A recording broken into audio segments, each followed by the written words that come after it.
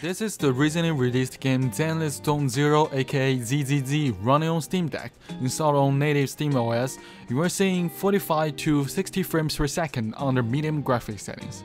It's worth noting that the game has just been released, and as you know, it does not officially support Linux. In this video, I will walk you through the entire installation process, but before we start, please be aware that since it's not an officially supported way to play, there is a risk that your account could be suspended. I can't guarantee anything, Please assess the risk yourself. The first thing you'll need to do is open a browser in desktop mode and search for an anime game launcher and find the GitHub page. I will leave the link in the video description. An anime game launcher is a launcher for another MiHoYo slash HoYoverse game.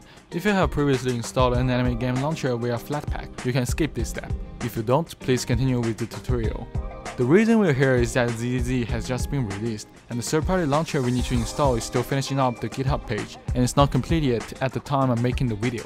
By the time you're watching this video, they might be done with it already, but the steps we need to follow are the same across two different launchers.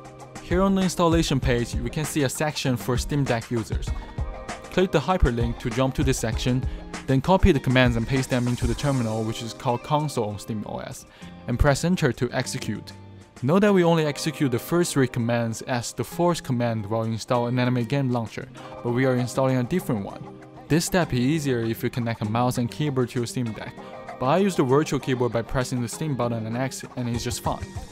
If the command line prompts you to choose an option by input a number, enter 1 and press enter to select the option that labels system. After executing the three commands, open Discover, then search for Sleepy Launcher. Got it? ZZZ. Sleepy? Go ahead and install it. Open it when it's ready. The Sleepy Launcher will ask you for some installation path options. If you don't know what you are doing, just keep the default and click next. The next screen will ask you for the Wine and DXVK versions. Again, if you don't know what this is, keep the defaults.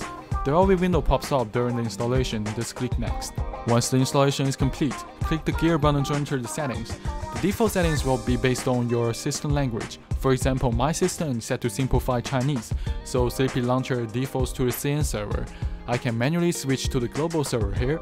Also, if you don't encounter any issues, I recommend you not to change other options. Some options, such as running the game in a sandbox, cause the game to not to run on my Steam Deck.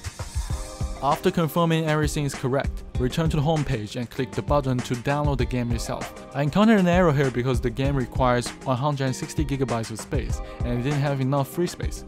This is a large game. After freeing up some space, I successfully started the download. You will download about 50GB of content. After the download is complete, you can just hit the start.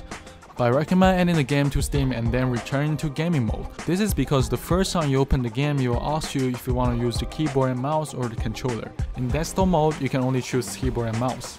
After adding the game to Steam, you can see Sleepy Launcher in gaming mode. For aesthetics, I choose to change cover art and poster. I use a very convenient Decky Loader plugin to do this. You can also find suitable images online and just replace them manually. This step is optional. If you don't see any available covers in the plugin by default, that is because the plugin is searching for Sleepy Launcher. You need to search for Zenless Zone Zero to get the correct cover art. After that, game start.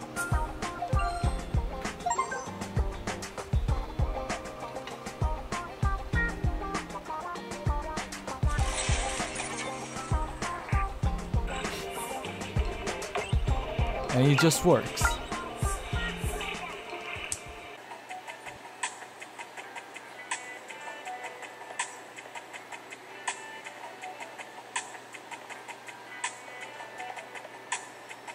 My graphics settings are default medium setting with no modification. By carefully customizing the graphics settings, you should be able to get better performance. If you find the best graphics setting for Steam Deck, please consider sharing them in the comments to help others. If this video was helpful to you, please leave a like or let me know if you encounter any difficulties during the installation process. Thanks for watching.